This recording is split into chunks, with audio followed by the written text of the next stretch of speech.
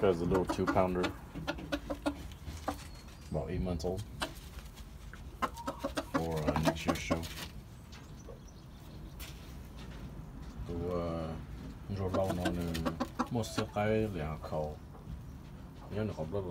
that's why you could do do so he does have some uh, LHK blood in him. And this is one of my one of my crosses. Little two pounder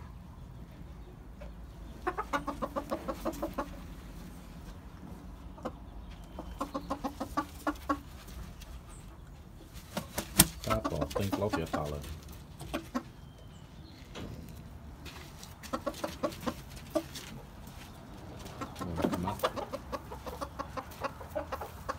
Ik denk vai, het Capitão.